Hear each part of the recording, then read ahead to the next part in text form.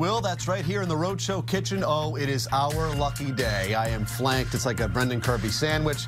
On either side of me, the pieces of bread that we know and love so much. John Granada, Chef John Granada from the Post Office Cafe. Good morning, sir. Good morning, Yeah, Nice to soon to be Soon to Johnny be. Granada's restaurant and bar, by the way. That's right. Absolutely. Same great location, but fabulous. We love the name. You, know? are the TV maitre d'. That's the last time I checked. How are you? Good morning. Good morning to you. Good morning, Friar fans. What are we gonna Oh, do? Why do you have to do No, that? I'm sorry, but I went to sleep and I thought it was in. You I know, and it's, uh, it's not Uh, good. We still love him. John, what are we making today? Guinness short rib, short rib stew. Yes. So we're going to make a beef stew, basically, with Guinness and short ribs, because short ribs are better than other beefs. Yeah, t- of course they are. Take us It's through the stop. ingredients.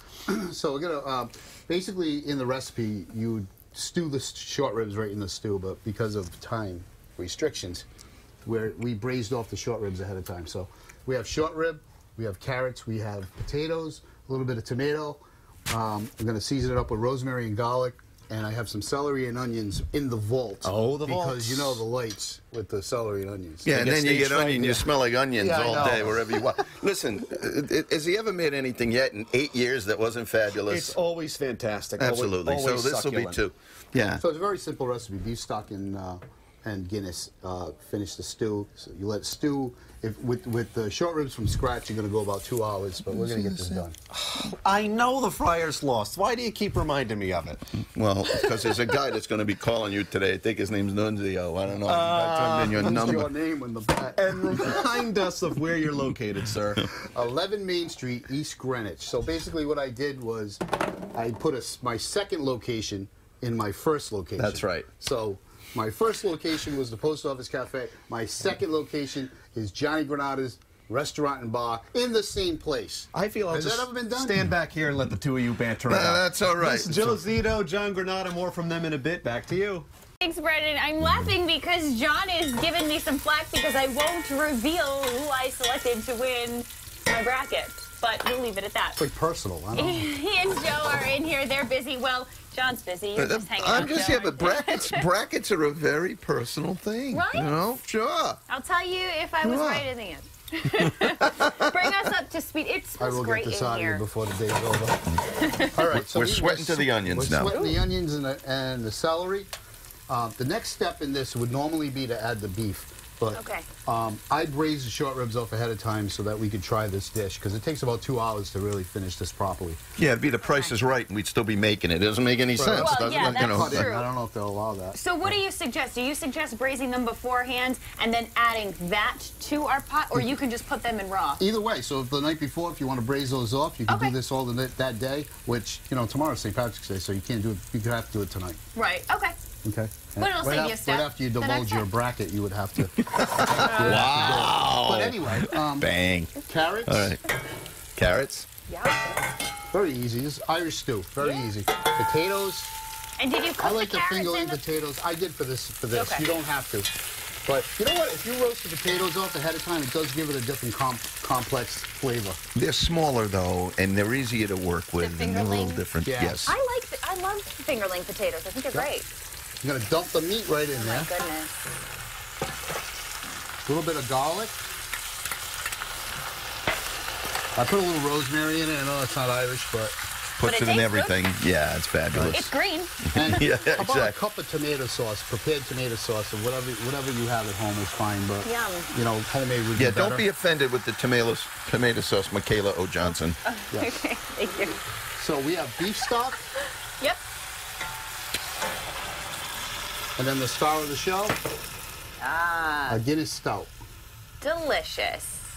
Kicking up the Ireland So flair. hopefully when we come back, this will kind of come together. And then Yeah. what we're going to do is we're going to, when we serve it, we're going to serve it with um, some crushed up sour cream and cheddar potato chips on top for a little texture. This sounds delicious. It okay, does. we're gonna let that go though. Stew needs time to kind of all develop those delicious flavors. When we come back, we'll hear more and we'll hear about that wine too. We will. We are in the Rhode Show kitchen this morning. Guinness short rib stew is what we got going on. Chef John Granada from the Post Office Cafe and TV maitre d' Joe Zito joined us this morning. It's me. It's me. This looks so good. Yeah? This looks really, really good. Oh, look at that now. Now we're getting somewhere, That was huh? so nice. Yeah. Okay, so basically what we got in here is we got the short ribs stewing nice, nice. Right. We got uh, potatoes. I've used fingerling potatoes for a little good looks. Mm-hmm. Uh, we got carrots, we got onions, we got celery, we got garlic, we got a little rosemary. And you also said the, the Guinness is going to add a different uh, like flavor, like a buttery Yeah. flavor to it. Yeah, well, Guinness has that kind of buttery, creamy thing going Mm-hmm. on, and uh, it also has a complexity of bitterness and like almost coffee-ish. Got it. A lot So- of flavors going on. Yeah, in here. there it's is. Pretty, Mix it's that with creative. beef stock, and it actually, you know what I mean? It actually works together really well.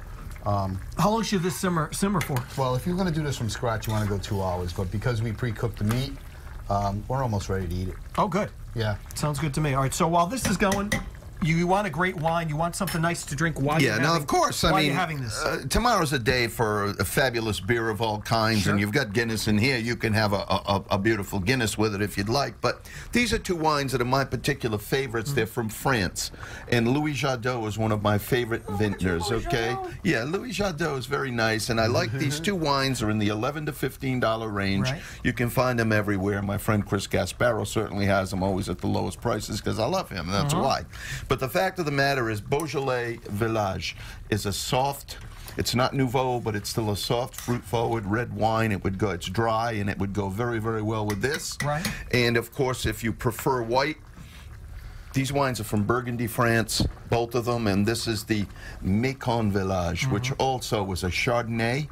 It's a beautiful, beautiful white wine. It's clean, it's crisp, it's dry, and I love these. And you know, for the Easter's coming up, your Easter table. Sure. These are wonderful wines that don't break the bank, and you'd be very proud to have I, these. with, I think I'd go with the red wine with this. Beautiful, soft, and it's good to drink even without food. Right. And speaking of Easter, Easter. my friend's Yeah. restaurant, mm-hmm. Post Office Cafe, 12 soon to be Johnny Granada's Johnny Granada's restaurant and bar, Right. are open noon to five with a beautiful Easter menu. Sounds good. So Right. 12 to 5, you got, you're going to be 12 open? to 5, we're open on Easter. We're going to do our regular dinner menu, Mm-hmm. and we're going to do some specials to go along with, you know, your basic holiday uh, lamb, ham, Right. roast beef, things like that. Well, it's great because uh, on that day, a lot of people they, they don't feel like cooking at home. It's a great day to go to a restaurant to And gather around. You got plenty of room. nice.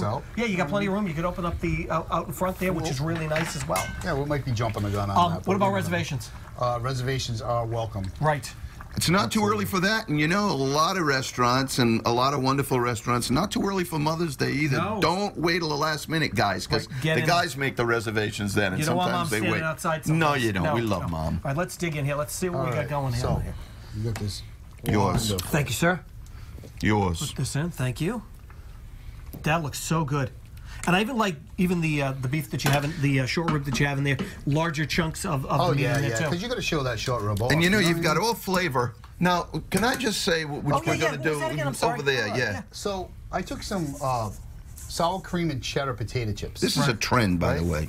Oh, is it? Yeah, culinary trend. Right. So you want to take that and you want to just kind of put that over the top. Sprinkle a little texture. A little texture. Look at that. And that looks so cheddar and short ribs and beef broth. It all goes together so well. Right. You know what I mean? All right. And the sour cream will take everything out. Let I'm gonna go in. You can see that. I mean, the steam is really coming from this, so we're gonna Yeah, be, be careful. We're gonna be. It's it's really hot stuff. But if you would like the recipe for this, you can head on over to our website, roadshow.com. Thanks, guys.